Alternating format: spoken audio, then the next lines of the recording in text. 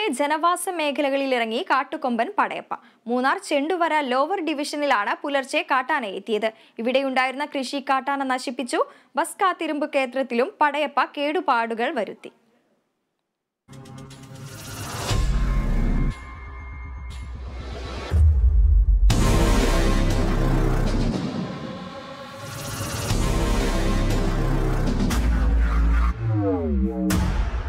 കഴിഞ്ഞ രണ്ട് ദിവസങ്ങളായി മാട്ടുപ്പെട്ടി മൂന്നാർ മേഖലയ്ക്ക് സമീപം തമ്പടിച്ചിരിക്കുകയാണ് പടയപ്പ.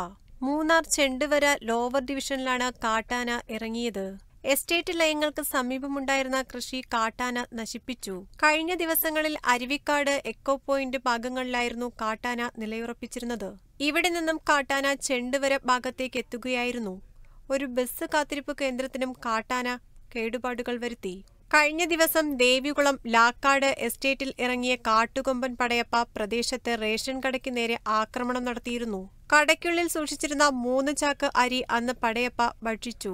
ഇടയ്ക്കിടെ കാട്ടാന ജനവാസ മേഖലയിൽ ഇറങ്ങുന്നത് ആളുകളിൽ ആശങ്ക വർദ്ധിപ്പിച്ചിട്ടുണ്ട്. മുമ്പ് ശാന്ത സ്വഭാവക്കാരനായിരുന്ന പടയപ്പ അടുത്ത നാളിലാണ് കൂടുതൽ നാശനഷ്ടം വരുത്തി തുടങ്ങിയിട്ടുള്ളത്. പടയപ്പയെ വനമേഖലയിലേക്ക് തുരത്തണമെന്ന ആവശ്യവും ഉയരുന്നുണ്ട്. Kerala vision news Idukki.